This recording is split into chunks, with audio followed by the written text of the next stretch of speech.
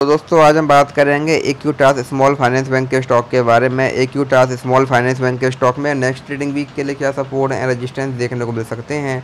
उसके बारे में आज इस वीडियो में बात करेंगे। हम अगर यहाँ पर स्टॉक की बात करें तो हम देखेंगे जो ये स्टॉक है। ये हमको पहले यहाँ पर लगातार के लिए डाउन ट्रेंड में देखने को मिल रहा था। पहले हमको स्टॉक में लोअर लो लोअर हाई वाला पैटर्न यहाँ पर देखने को मिल रहा था।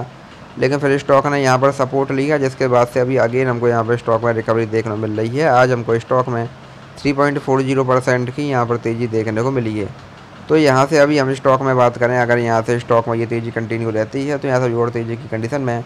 हमारे पास यहाँ पर स्टॉक में 97.30 का पहला यहाँ पर रजिस्टेंस देखने को मिलेगा। अगर स्टॉक इसको ब्रेक करता है दैन यहाँ से हमको स्टॉक है वन और अगर स्टॉक ने इसको भी यहाँ ब्रेक किया दैन यहाँ से हमको स्टॉक में अगेन एक बड़ी तेज़ी, एक बड़ी बाइंग यहाँ पर देखने को मिल सकती है। इसके बाद हमको स्टॉक है वन देन यहाँ से हमको स्टॉक है one hundred seventeen and then यहाँ से हमको स्टॉक में अगेन वन थर्टी और वन फोर्टी वन फिफ्टी तक के लेवल्स भी यहाँ पर देखने को मिल सकते हैं।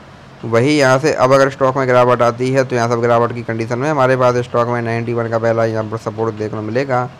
अगर स्टॉक इसको ब्रेक करता है देन यहाँ से हमको स्टॉक में एटी सेवन और एटी थ्री तक के लेवल्स भी यहाँ पर देखने को मिल सकते हैं।